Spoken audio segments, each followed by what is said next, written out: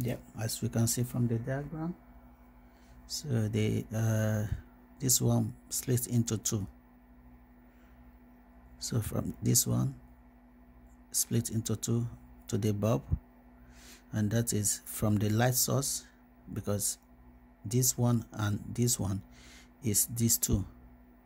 So the red one goes into this one which is this one. So from this let me set the light properly okay? From this red which is this? So from the red source so it goes here. So and this one goes straight into here. So and this one is come from here to the bulb that is this one from here to the bulb and uh, this one so is from the source as we can see here from the source to this one which is here and then split into two to the bulb. Then I split it from here to the bulb. So the first one goes here and the from here goes there. Or I can split it from here again.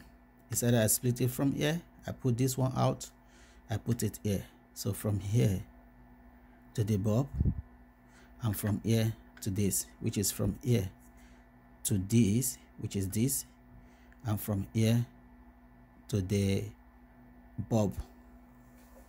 So which is the black to the bulb. So it's not working. So it's as you can see it just change it's changing here.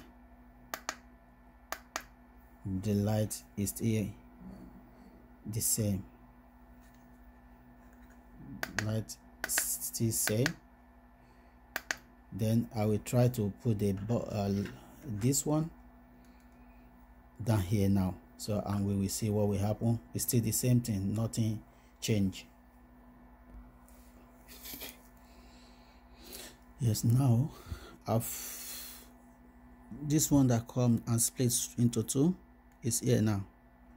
So one goes into this connection which is this neutral from here straight to the neutral here from here was attached to this one and split into two here to the neutral.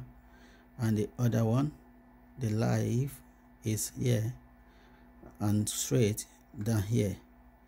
So and now this one second live which is head one goes one out. It goes here straight to the bulb so as you can see it's straight to the bulb. And this one is two. The neutral here is two. One goes straight down here which is down here.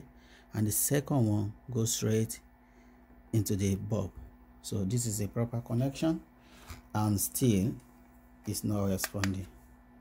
So i believe it's 40 so i've done everything. So and uh, i need help Thank you.